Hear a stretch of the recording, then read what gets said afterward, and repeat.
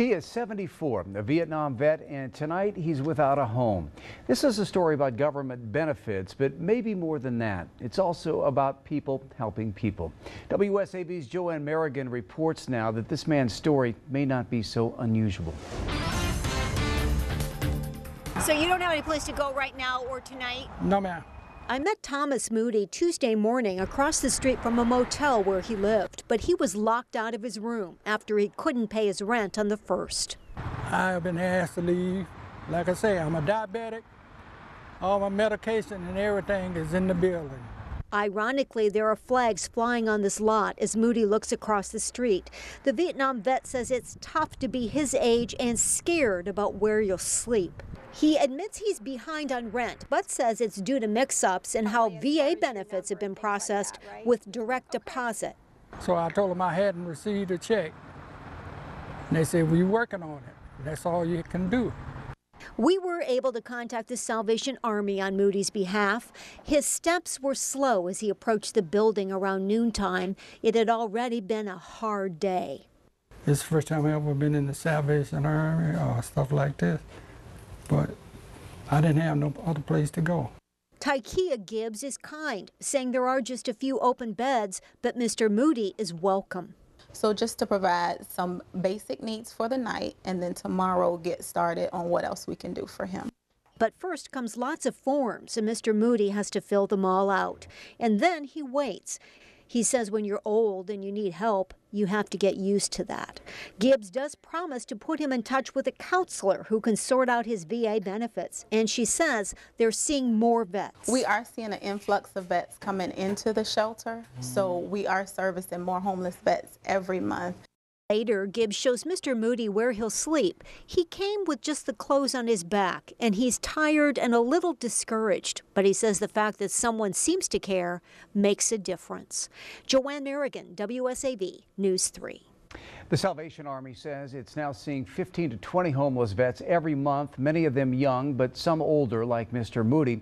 And by the way, they were able to get Mr. Moody's medication later today, and they promised to put him in touch with more services for veterans. Charity scam has several people filing police reports tonight. That's after some low-income women say they were promised help with rent and utilities if they just paid an upfront fee.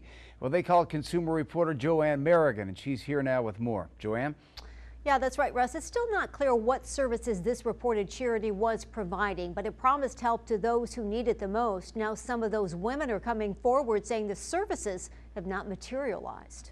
You give me $30 and I'll take care of your $975 light bill. Cheryl Laban says that's what many low income women were promised by a charity that operated out of this home near Ogeechee Road. These poor innocent women that's been victimized with um, vouchers that are not valid. Laban says women were told they could get utility and rent vouchers if they paid a fee, and she says many did. 50 to 100 the days that I was here. Uh, yesterday when I left, there were about 20 ladies waiting in line. He would just do these on his computer and give them to women?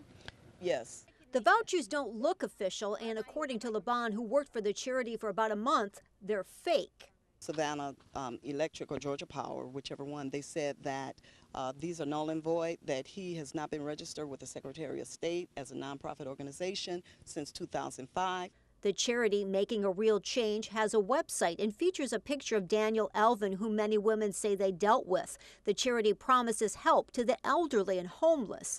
While most did pay $30, this woman says she gave the charity $600 yesterday with the promise her rent would be paid. And I say I was walking out on faith, thinking that this was this man was legit. You know, he he talks a good game. He talks an awesome an awesome game. Do you think a lot of women believed him? Yes, we did. Well, we weren't able to ask Mr. Alvin about any of these allegations. That's because he's not here. We were told this morning that he probably left town. Word is that Alvin left this morning for Augusta or Atlanta. I got a, I got a uh, fake paycheck.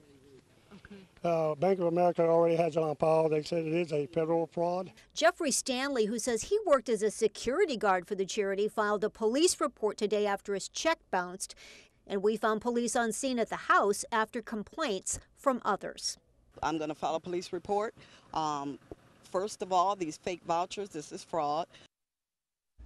Well, we did check with the Georgia Secretary of State's office today and found that making a real change does not appear to have been active since July of 2005. I also called the phone number listed on the website to try to speak to Mr. Alvin, but the calls wouldn't go through. Meanwhile, this may be a good time to point out that most charitable organizations usually don't ask for money up front in exchange for services. JoAnn Merrigan, WSAV News 3.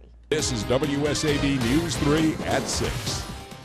So he says that he is a registered charity and he's helped people. Is that true as far as you're concerned? No, he he's a scammer. He's a, a he's a scammer. More concerns tonight from low income women who say they've been ripped off, and we continue to investigate the man running it all. Good evening. It's Thursday, August 8th. I'm JoAnn Merrigan in tonight for Tina Titus Shaw. And I'm Russ Friesinger. Thanks for joining us. We begin tonight with more concerns about a local charity. Is it really helping low income women?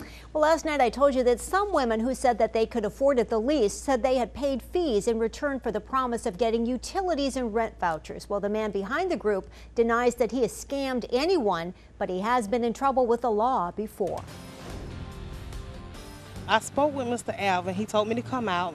Comedy Crawford says in late July she was desperate to pay a utility bill of $1,000. I gave him $500 cash on the 29th of July. Crawford says Daniel Alvin, from making a real change, promised to pay her utility bill and gave her a voucher. The voucher he's printed up was fake. I mean, just fake stuff. Everything was fake. Nobody got any help. I myself did not even get any help. Yesterday, several women, including one who said she'd given the charity $600, went to the home where the charity had been operating, saying as many as 50 women, maybe 100, had given Alvin upfront fees. Alvin wasn't there.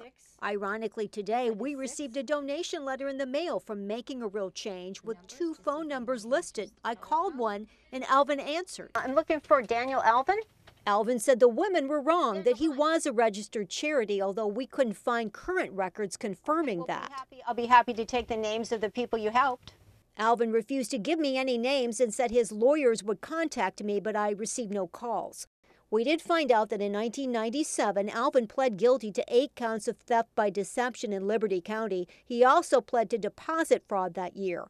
In November of last year, he was charged in Chatham County with theft by conversion. A booking photo indicates it is the same Daniel Alvin that appears on the charity website. Alvin was on probation for this charge. He's a fake, he's a phony. I don't understand. This man is on probation. He just got out of jail for doing the same thing. Why? I don't understand what's going on. Well, police confirmed they are investigating Daniel Alvin based on the complaints of some of the women. Late this afternoon, we confirmed with the Georgia Secretary of State's office that Daniel Alvin did have a charity called Making a Real Change registered, but that was dissolved eight years ago in 2005. A Secretary of State spokesman told us there was no other registration since that time.